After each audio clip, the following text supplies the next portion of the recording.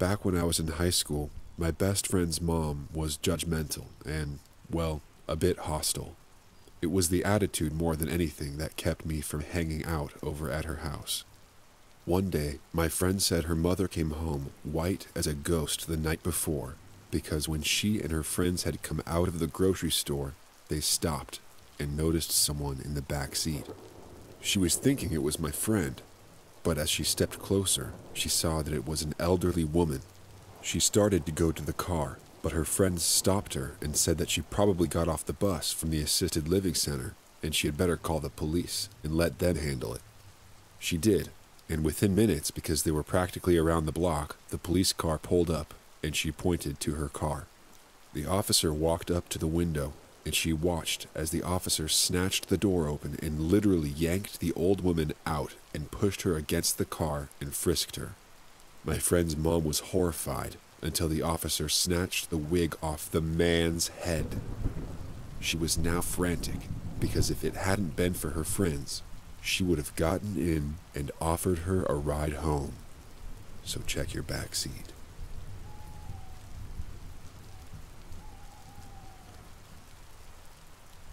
This story happened back in 2017. I was trick or treating when my legs started to hurt like hell. Thankfully, my house was nearby, so I walked home. My dad checked on me and said that he was going to be at the house across the lawn. I said okay, and my dad left. I was laying on the couch eating some candy when suddenly my body went numb and I couldn't move. My vision got weird. The best way to put it is big black snowflakes.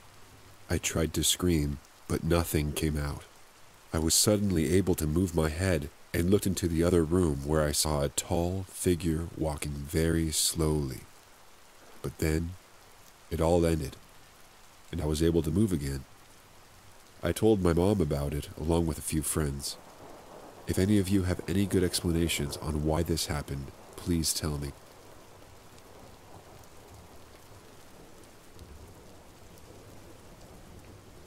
So, a couple of days ago, my boyfriend and I were driving up his road that's in the middle of the woods, and as we turn a corner, we first see the deer. The deer didn't even flinch at our car coming up the road, which was weird. Then we saw it.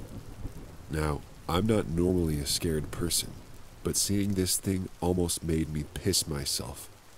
It looked as if this thing was talking to the deer.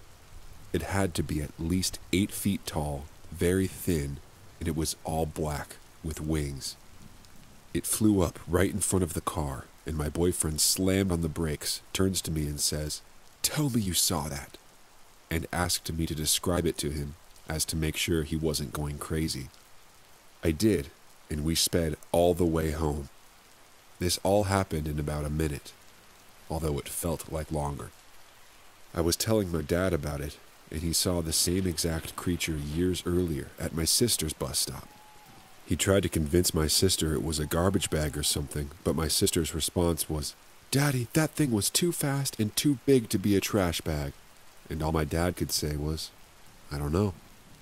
If anyone has any idea what this could be, I'd appreciate a comment. I'm very skeptical about these things, and I'm looking for a more logical explanation.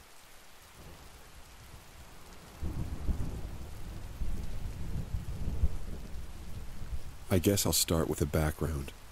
I'm a 33 year old female, but this story takes place when I was a teenager living in a suburb of Chicago. The village I lived in was quiet and middle class. We lived like a mile from the police station, and the worst crimes we had was a murder or two and a robbery, once in a blue moon. 99% of the time, boring. Unless you had a car, you were just stuck walking around the park at night with your friends.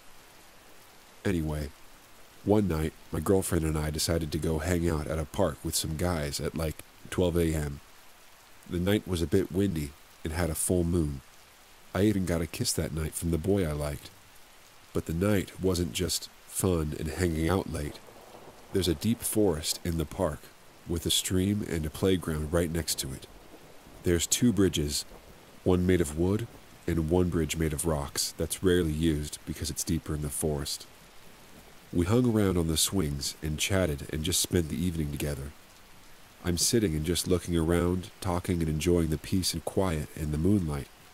I have a full view of the forest and the dip of earth that I know leads to the stream.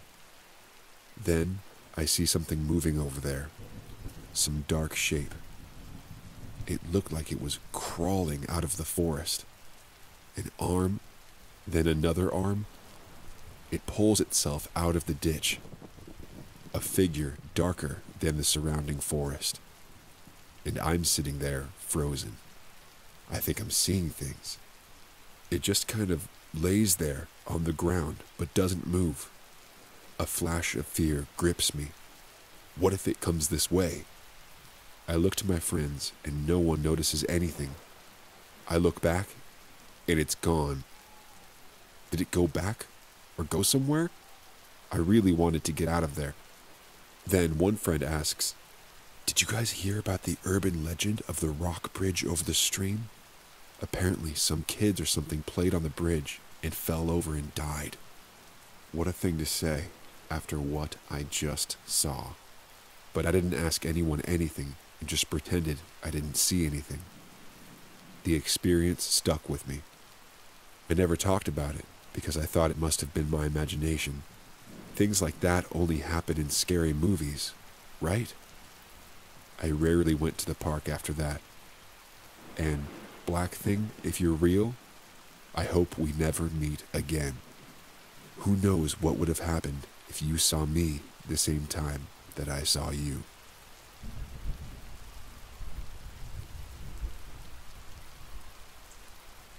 This isn't really a scary story, but more of a creepy one. My friend's dad's family used to live in the woods near Eureka Springs, Arkansas. My friend's uncle was the oldest of three kids and was allowed to explore the woods on his own, even though he was only about nine. One day, he came across a little cottage nestled in the woods. He knocked on the door and was greeted by two old ladies. He promptly asked for some water, as he had been exploring for hours. The ladies invited him in and gave him milk and cookies and sat down and talked with him while he pet their cat. They talked for a while and they eventually invited him in to stay for dinner and spend the night, because it was getting dark and he was a ways from home. His parents were pretty used to him being in the woods for nights without coming back, so he accepted without question. He spent the night without incident and returned home the next morning. He visited many more times over the next year, and one day they told him to bring his parents and brothers the next time he came. So the next week, the whole family embarked on the long trek to the cottage. When they arrived, however, they found the remains of a small cottage that appeared to have been abandoned for years. Everyone was very confused, as they all trusted that my friend's uncle had visited the women many times. They had absolutely no idea what had happened, or if my friend's uncle had actually been visiting anybody to make things even weirder, as they were leaving, an old, skinny, white cat ran past them, darting into the trees, leaving them in utter shock.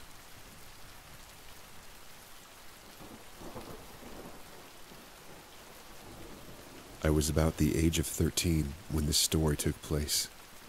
I lived in an old house just on the outside of a large city and was surrounded by cornfields and forests. I had lived there all of my life before this happened. It was a dreary summer night, which is mostly normal for the place I live. But on this particular night, something just felt off. I had come home from soccer practice around 6 p.m., and my parents always had me in bed by 8. The night went on as usual. I ate dinner, played with my little sister, and did some weightlifting before bed. I got into bed around 7:45. This story will make better sense if I tell you some things about me. I'm a restless sleeper. I toss and turn and get up periodically throughout the night, and I've always had a fascination with the afterlife. Okay, back to the story. I'm not sure exactly what time I fell asleep, but I didn't really have my usual episodes throughout the night. This was the first night I slept peacefully in years. Then I was suddenly awoken by a strange noise coming from the bathroom in my bedroom. Since I had to use the bathroom anyway, I decided to go check it out. I thought it might be a mouse or a bat, since we live in the country and the house is old and has holes in the older walls. I went into the bathroom. I didn't see anything, so I proceeded on my way to pee. Afterwards, I washed my hands and face, and when I was washing my face, I looked up at the large mirror that overhangs my sink. I thought I saw something behind me, but I thought it was just my mind playing tricks on me. I dried my face off and looked up at the mirror again. Right behind me, there was a little girl clutching my body, almost as if she was hiding from something. Her ghostly outline scared me at first, but as I kept looking, I could tell that whatever was scaring her was coming from the basement.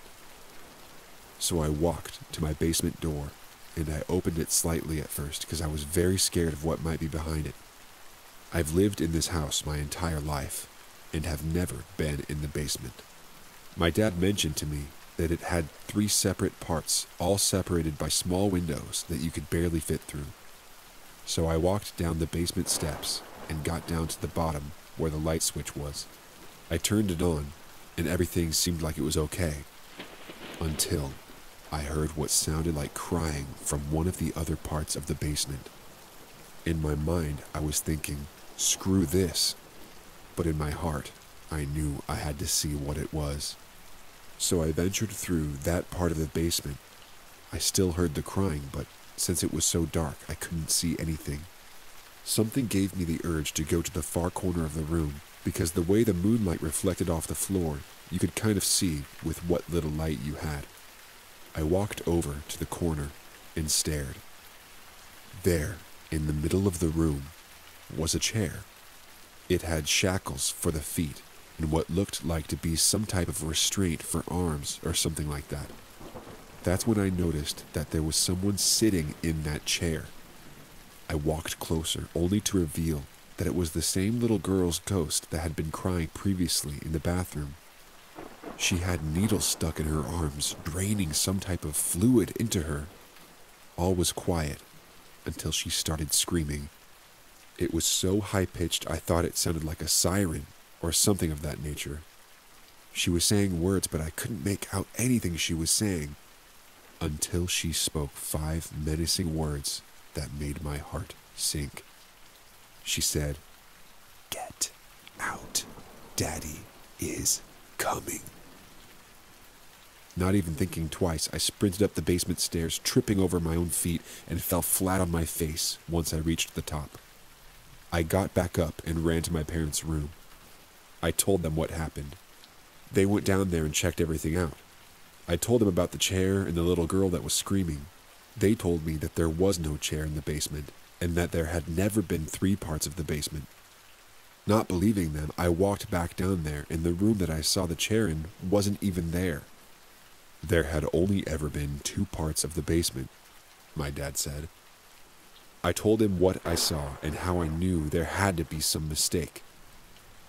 But I never did see that part of the basement again.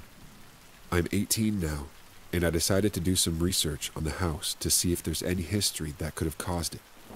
I came across an article of a man who had been arrested in 1868 for doing lab experiments on all of his children. After the man was arrested, the police found all 12 skeletons of his children stuffed behind the basement stairs under debris and concrete. Now that I finally moved out of that house, and now that I finally have an answer as to what I saw that night, I'm finally at peace. But those five words still hang over me to this day. Get out. Daddy is coming.